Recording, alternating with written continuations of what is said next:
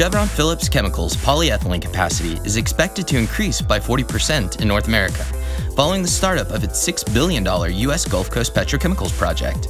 How do you prepare for the unprecedented amount of product?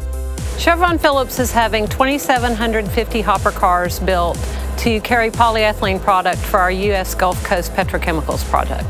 The U.S. Gulf Coast Petrochemicals project will fill about 11,000 rail cars a year of polyethylene. So these cars will be used to move that product from the manufacturing plant to our customer facilities all over North America and also to uh, transload and packaging facilities where the product will go into bags or smaller containers to be shipped all over the world.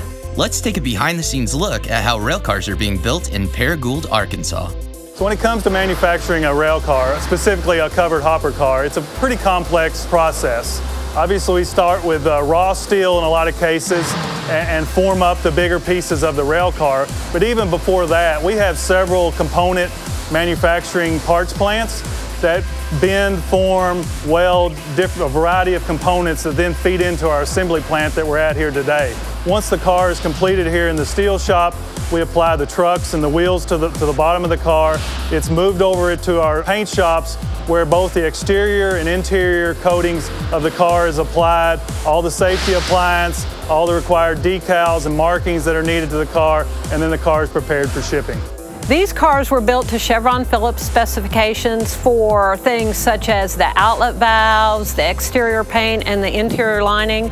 The new cars that we're having built have a gross weight capacity of 286,000 pounds, which means that for our products, they'll hold between 200,000 and about 210,000 pounds.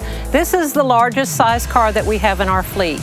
While Chevron Phillips Chemicals project is being built along the Texas Gulf Coast, the impact can be felt across the United States, spanning the rail industry to the ports in order to meet the growing global demand.